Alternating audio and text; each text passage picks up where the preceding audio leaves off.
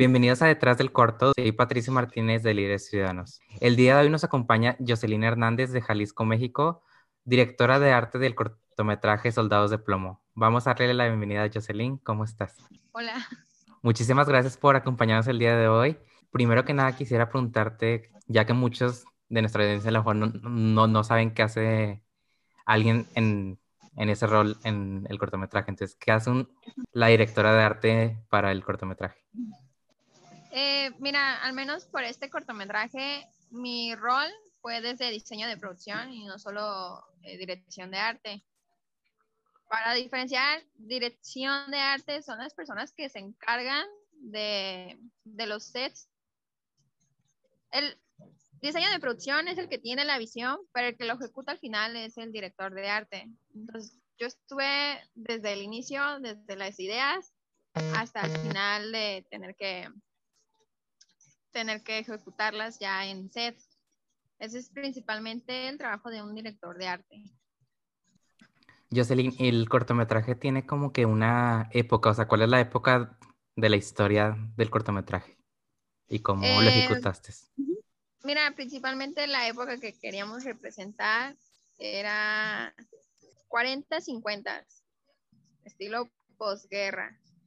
Esa era pues, la principal época.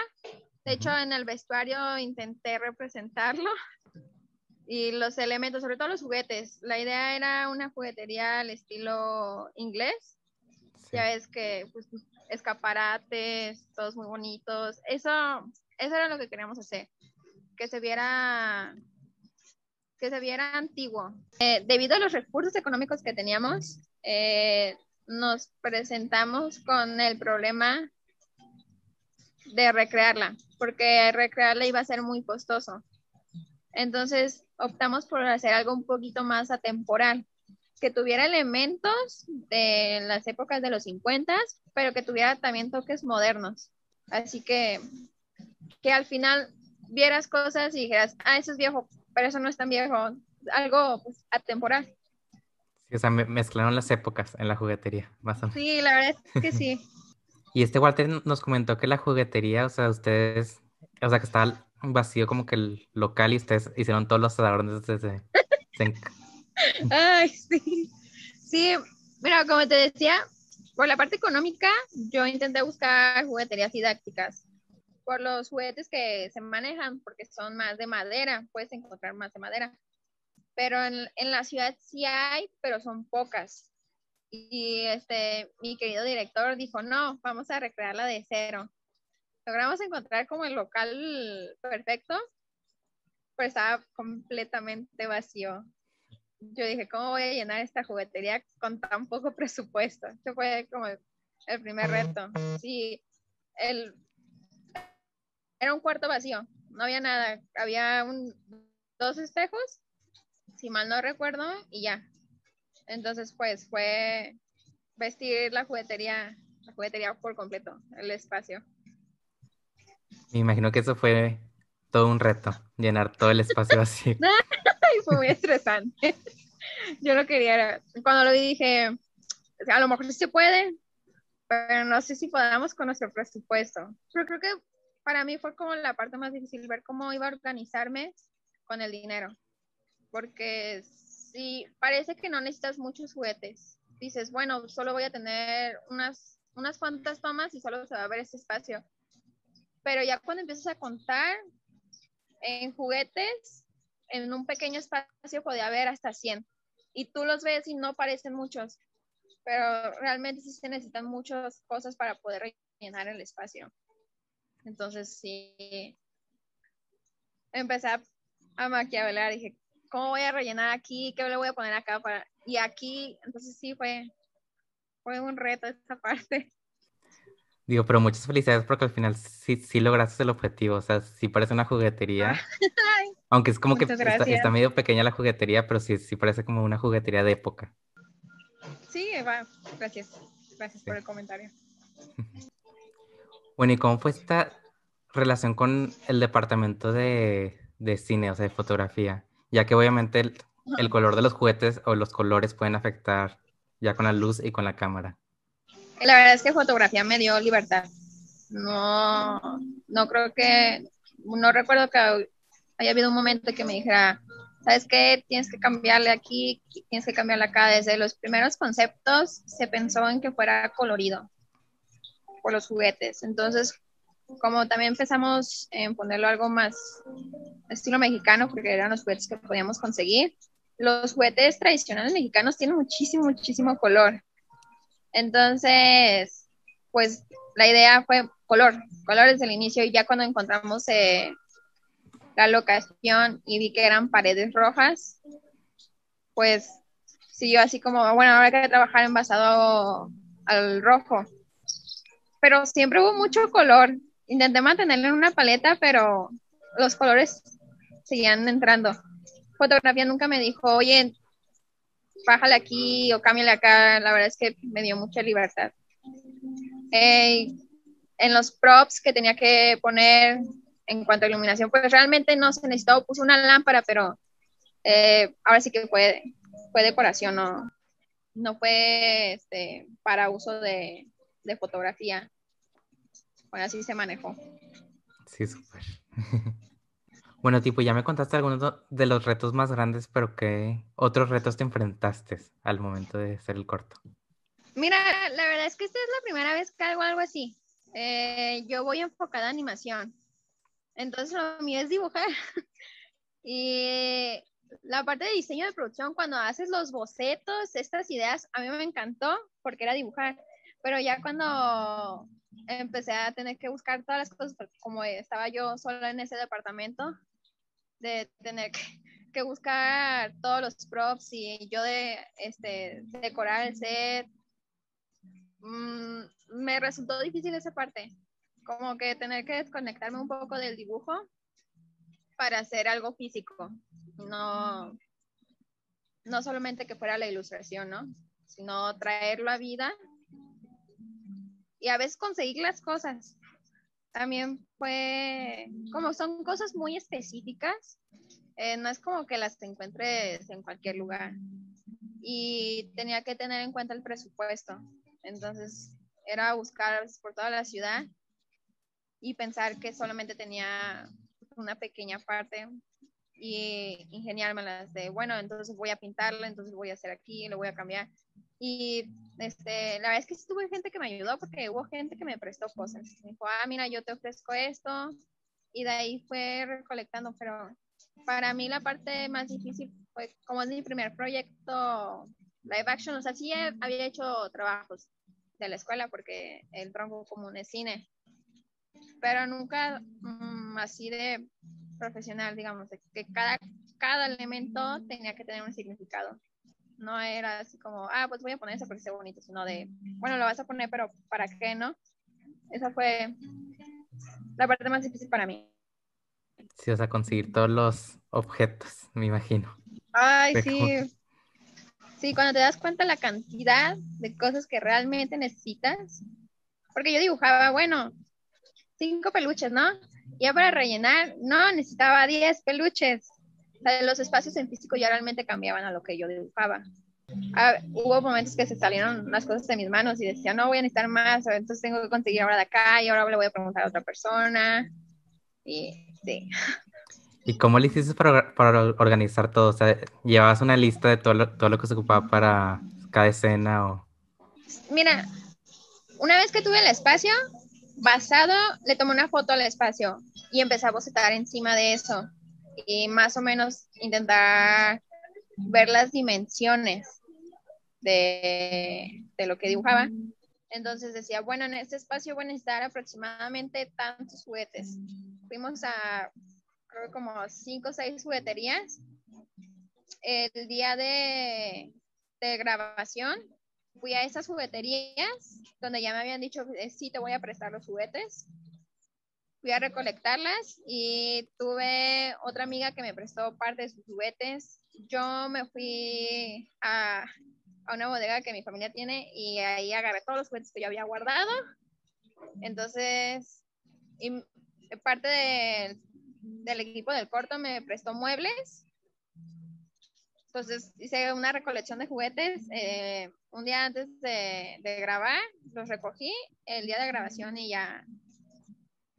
Es que decoré desde un día antes, pero terminé de decorar eh, también el día siguiente, es que eran muchas cosas realmente. Era literal un cuarto vacío y tenía que vestirlo por completo. Fui recolectando cosas así. Unas cosas transportar los muebles. Ay, los muebles me los prestaron eh, el equipo. Sí. esas fueron, fueron los chavos que dijeron, yo tengo ese mueble, ¿te sirve? Sí. Hay que ponerlo para, para crear espacio, para que no se vea tan vacío. Sí, claro. Por último, te quisiera preguntar si tienes alguna recomendación para los jóvenes que este año van a estar participando en el concurso y qué les puedes recomendar sobre el departamento de arte.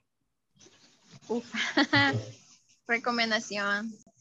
Pues creo que lo principal sería no se estresen. Es imposible no estresarse, ¿no? Pero las cosas nunca van a salir como tú quieres. Tú tienes una, a lo mejor ya tienes una idea de cómo quieres las cosas y realmente todo el equipo la tiene. Sobre todo el director, ¿no? De, no, pero es que yo quiero que sea así. Pero tú como arte te das cuenta de lo que realmente se puede y no se puede.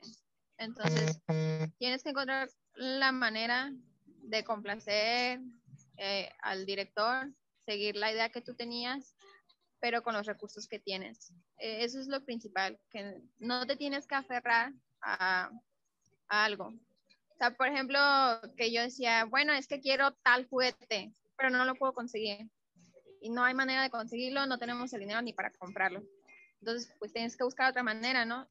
Y de ahí viene el no, no te estreses, es buscar otras maneras de solucionar las cosas. Creo que ese sería mi mejor consejo.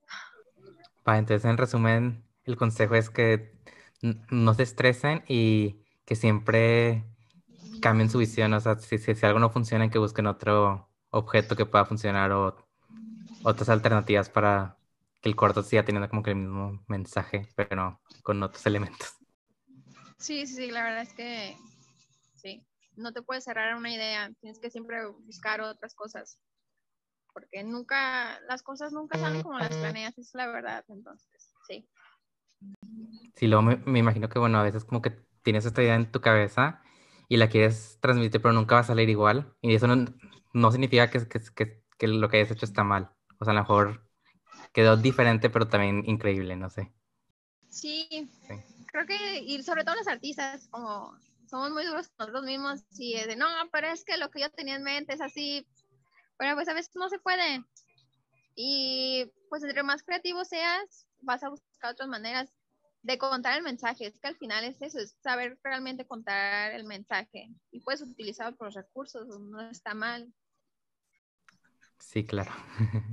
si tengas algo más que quisieras contar sobre tu experiencia, algo que te quedas con ganas de bueno, para mí, como primer proyecto formal, fue, fue muy interesante ver realmente todo lo que hacía el departamento de arte. O sea, creo que pasamos por alto muchas veces todo lo que implica. O sea, tú ves una película y escuchas siempre, ah, el director, ah, el guion, la fotografía, pero nunca escuchas nada de la, la dirección de arte o mira el vestuario, mira, no escuchas casi nada de esto. Entonces, eh, para mí fue, pues fue muy interesante ver todos los aspectos que abarcaba. O sea, desde un diseño de personajes, o sea, todas las cosas que tú como espectador llegas a ver, pero quedas por alto, das, das por hecho, como, ah, un sillón, pero realmente no piensas que el sillón puede tener este, algo importante, ¿no? Que sea la parte de la personalidad del personaje y que está de forma circular porque el personaje es muy alegre o cosas así. Entonces creo que fue valorar toda la parte de diseño de producción en todos los departamentos porque es grandísimo, grandísimo el diseño de producción. Son muchísimas personas trabajando, no es solamente una persona y cada persona es importante y se le tiene que dar su mérito. Sí, por supuesto. Y luego, bueno, me, comentaste que también tú, tú, eres más animadora, o sea, el diseño en producción en animación es algo diferente, tipo, no sé si sepas algo relacionado con la animación y el diseño. Ah, mira, en diseño de producción en la animación depende de depende del proyecto. Yo me he fijado que siempre depende del proyecto. Pero es que igual y es porque yo me siento más cómoda dibujando, ¿no? Entonces, se parece, tiene mucho que ver realmente el diseñador de producción a lo que yo he escuchado en distintas entrevistas. Es la persona que está detrás de todo en cada aspecto. Al igual que lo harías en, en live action, pero todo es dibujado, ¿no? Y este, como todo se crea de cero, se tiene que tener todavía muchísimo más cuidado porque los recursos, porque no puedes gastar este, recursos en un plano que, que no va a funcionar al final. Entonces, es muy parecido, sinceramente, solo que se aplica diferente. Siempre, siempre es dibujo o modelado 3D, ¿no? O, o si es este stop motion, pero sí. me gusta más la animación. está chido live action, pero creo que lo mío es la animación es, es más fácil conseguir el juguete que quieres en, animación, nomás lo dibujas. Exacto, si lo quiero lo dibujo y ya quedó. Bueno, esa es mi mentalidad, ¿no? Se me hace más fácil. Ah, pues no funciona eso, déjalo borro. A decir en, en persona, ah, no, no funciona eso. Ahora, ¿cómo lo quito? Sí. Bueno, pues muchas felicidades por el trabajo que hiciste aquí, ya que al final al ver el cortometraje se refleja realmente cada detalle que pusiste en, los objetos y en el diseño del cortometraje. muchas gracias. Gracias, gracias por todos los comentarios. La verdad es que no lo hubiera podido hacer sola. tuve un gran equipo. Sí, luego el cine aparte es trabajar en equipo para obtener mejores resultados. O sea, Claro, no, no puedes hacer las cosas solo, siempre vas a necesitar de alguien más. Y es aprender a trabajar en equipo. Cada uno tiene, tiene sus talentos, cada, cada quien es bueno en su propia área, entonces es, es eso, saber apreciar el talento de otros y trabajar con ellos para crear algo así de lindo. Bueno, muchas gracias, Jocelyn, por acompañarnos el día de hoy y contarnos sobre tu experiencia como diseñadora de producción y cómo ya se acabó este proyecto de Soldados de Plomo. Y muchas gracias a quienes nos acompañan el día de hoy.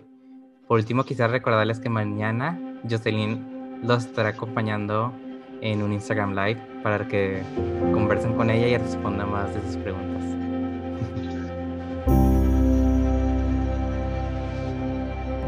Hay muchísimas maneras de participar para mejorar nuestro entorno.